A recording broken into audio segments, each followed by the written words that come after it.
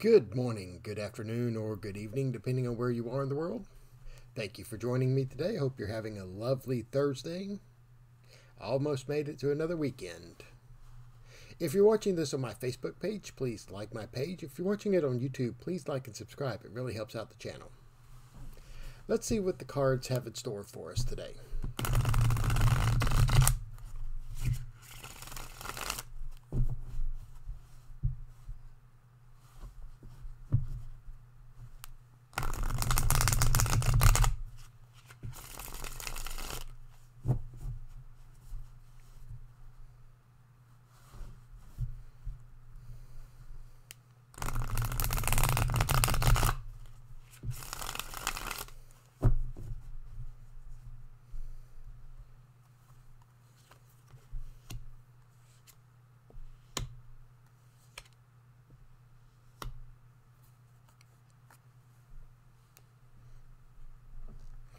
Okay.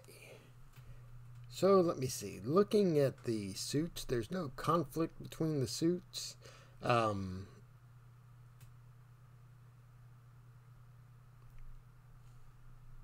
no negative connections. That's good.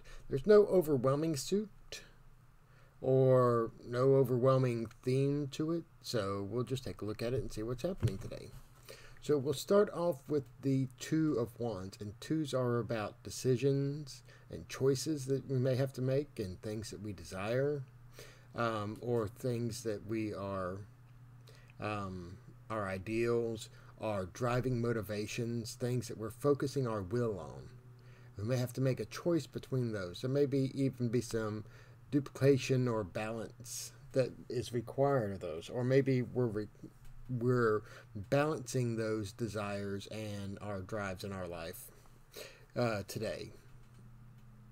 So you may find yourself with a decision about the things that you desire, the paths that you want to take in your life, or where it is that you want to focus your will today, or focus your energy and intention and the things that you want to work toward uh, it may be time to make a decision about that, either a life choice or a um, a just a cognitive decision to maybe alter what you're doing slightly for the better. Now, with that, we have temperance, and temperance emphasizes caution and balance. Uh, balance is a very important concept of temperance because it's the uh, temperance is the union of the masculine and feminine, or fire and water. You know, we always say fire and water don't mix. Uh, but this is the alchemical representation of the alchemical process of mixing those two energies together. So, which has to be done in a very cautious way, or else it becomes very explosive and very volatile. Um,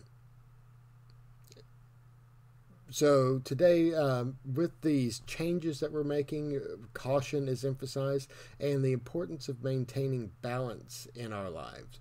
Uh, with the choices that we're looking at, with um, what we desire and what we want to put action into, and what we want to put our energy into, it's important to remember to balance everything in our lives.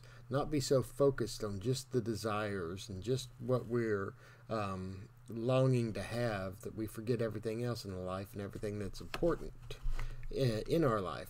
So, as you're making this choice today, make sure that you focus on balance and you use caution in what you're um, what you're choosing and what you're f- intending to put your energies into. And then the last card here is the Knight of Pentacles. And Knights are all about taking action. So after we make the choice, we're going to take action on it. Um, knights can be very um, brazen, um, impulsive, but the Knight of Pentacles is the least impulsive of the knights. So, which is good. So it's talking about action and acting on uh, the decision that we make and making doing the choices that we make.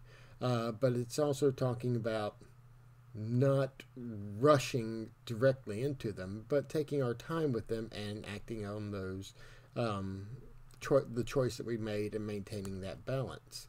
Uh, being the Knight of Pentacles, so we're talking about taking action in a physical way. So it may be an actual change in something that you're doing.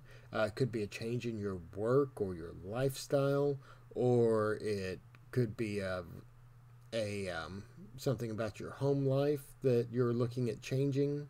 Um, changing in how you manage your resources, your money, your finances. Any of those things would fall under Pentacles. So, with the change that we're going to be making, we're going to manifest that change through in the physical world by taking action upon that change, but making sure that the choice that we have is balanced and we're proceeding with caution. So we're not just running forward into the decision blindly, but we're making a conscious decision of it that we've calculated and we know what it is that we're going to do. Um, and then manifesting that decision and making that decision appear on the physical world in the changes in our life. So we're actually going to take action on that choice as once we make it and once we establish the caution and make sure everything that that it's balanced in our life because we don't want to throw our lives out of balance. That's when things become chaotic and troublesome. Uh, so we want to make sure we maintain that balance. And I think it's very interesting that the balance card is the middle point of the reading. That's the pivot point, the balance point. You're weighing the choices versus the results here. So that's what the cards have for us today. I hope you enjoyed the reading. If you did, please like my page on Facebook, like and subscribe to my YouTube channel. You can also follow my blog. The links for all of my social media are on the About page on Facebook and in the description below on YouTube. If you'd like to book a reading with me, they do start off at $5. You can contact me through Facebook, through YouTube, through my email address at lodgemagician at gmail.com, or you can go to my Facebook business page or my webpage and book a reading through there. Thank you and have a wonderful day.